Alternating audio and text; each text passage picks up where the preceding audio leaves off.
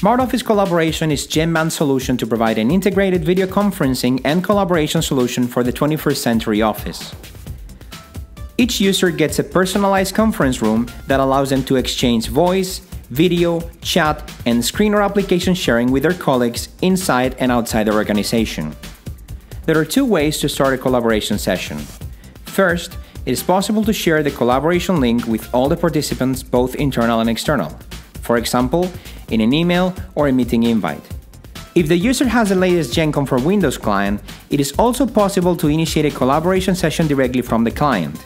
Select the participants from the contact list and click the button to start collaboration.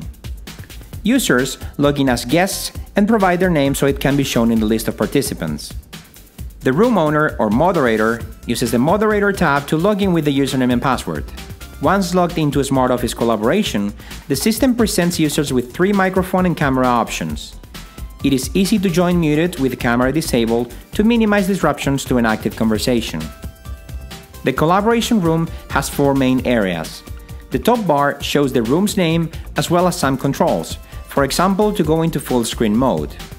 The main menu includes the participants list with additional controls for the room's moderator, the sharing panel, options to adjust the grid layout, and the settings panel. The content area is where video participants or a screen share appears. And the toolbar includes buttons to mute the microphone, enable and disable the camera, activate the self view, or open the chat panel. The participants list shows a summary of all the users that have joined the conference room. There's a small circle that summarizes the number of participants. For the average participant, this is just a list of names. However, for the moderator, every name includes icons to mute the line and disable the camera. No more conference calls with the dog barking in the background. The moderator can also click on the tools icon to expand the moderator menu. Here, they can mute the entire conference or disable everyone's camera. The moderator can maintain complete control over this function or give participants the option to unmute themselves or re-enable their camera. The sharing panel provides two functions. At the top, it allows a participant to select which shared media is displayed on the screen. At the bottom, it allows a participant to share any screen or an individual application. Multiple participants can share content simultaneously, and each participant uses the controls at the top to select what's viewed on their own screen. The content appears embedded within the content area. However, it is possible to extract it to a separate window by double-clicking on the content. To bring it back to the main screen, the user only has to close this new window. The Grid Layout button allows each participant to adjust how participants, active speakers, and shared content is organized on their screen. If they prefer, they can choose to emphasize the active speaker or the content or make all of the content equal size. Finally, the Settings tab allows the participants to select their preferred camera, speaker, and microphone. The toolbar at the bottom of the content area allows participants to mute and unmute the microphone as well as the conference audio. They can also enable or disable the camera, enable or disable self-view, as well as open or close the chat panel. In the lower right corner, there is a hang up button to exit the collaboration session. The chat panel serves two functions.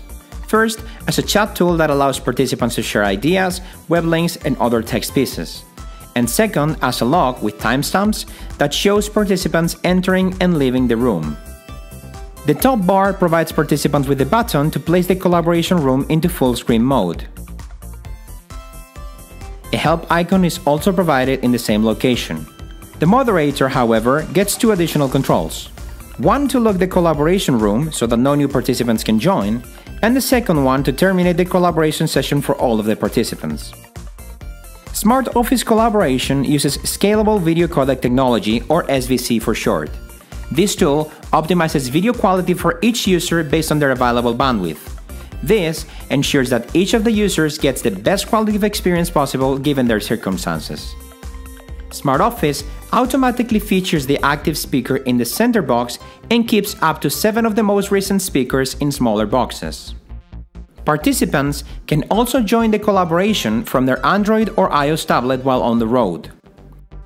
And they can also connect through an iPhone or an Android smartphone.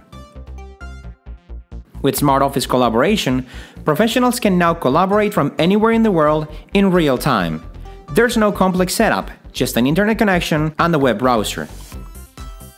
and it works on Windows and Mac OS. Smart Office collaboration can be used to enhance the productivity of meetings, provide online training, customer webinars, or any other activity that can benefit from real-time video and content sharing. Genband Real-time communications without boundaries.